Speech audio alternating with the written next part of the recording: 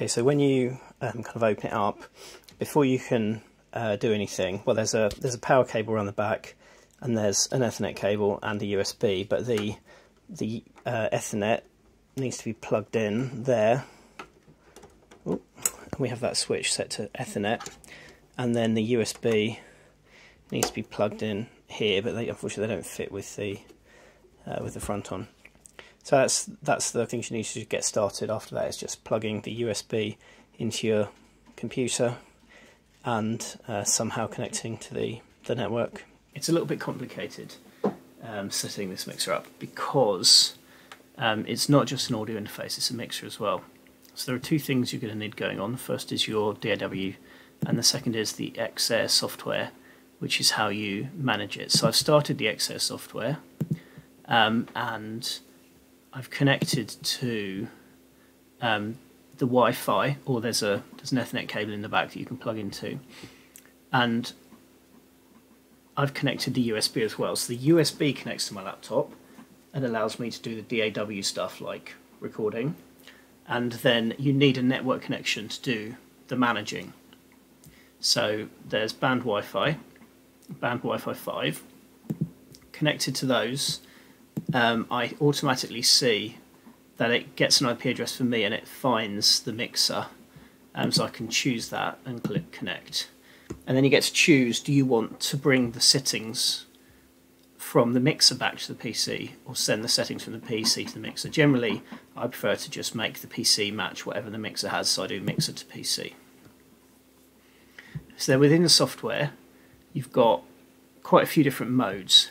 So if you click mixer in the top left, this is your kind of basic um, mixer mode where you've got channels, you can mute, um, and you can see over here you're on main, left and right.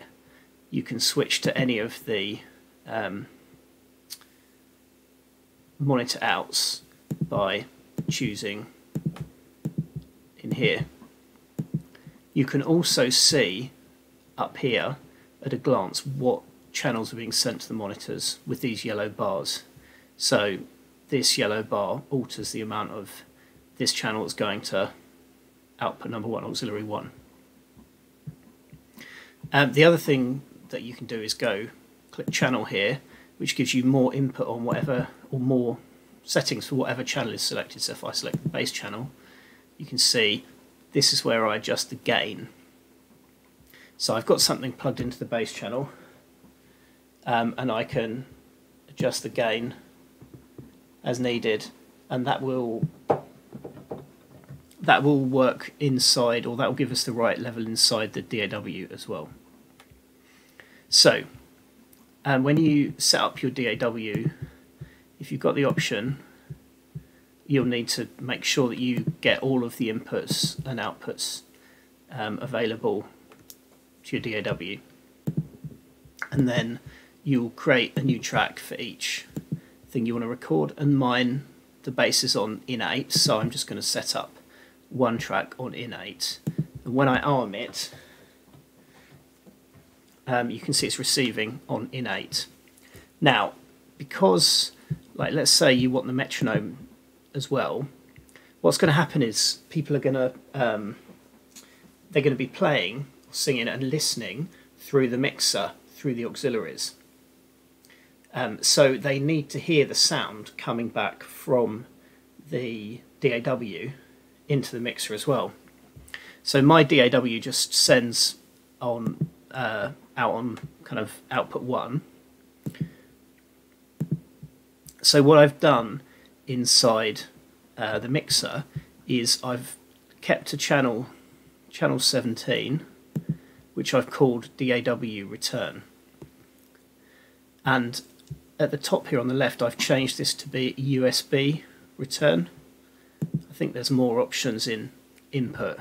So this is picking up channel 1, and I guess 2, I think it may be stereo, um, from the USB. So when I play, if I hit play on Reaper, which has got a metronome enabled, and then go back to the XAir software, that's now flashing because the metronome, um, and you can put that channel up or down in people's ears.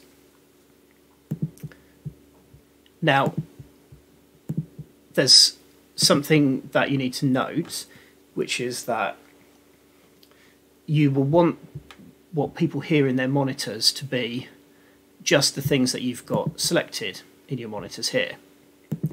But because you're monitoring what comes back from your DAW as well, they will automatically get this kind of mix back from your DAW unless you turn that off somehow. So the way I do that in Reaper is I turn record monitoring to off. And that means while I'm recording, don't monitor what's being recorded. And I don't need to do that because it's already being sent to the auxiliaries um, through what's happening here. So I think that's the key bit. There's there's kind of gate EQ compression. None of that has an effect on what's actually recorded. Um,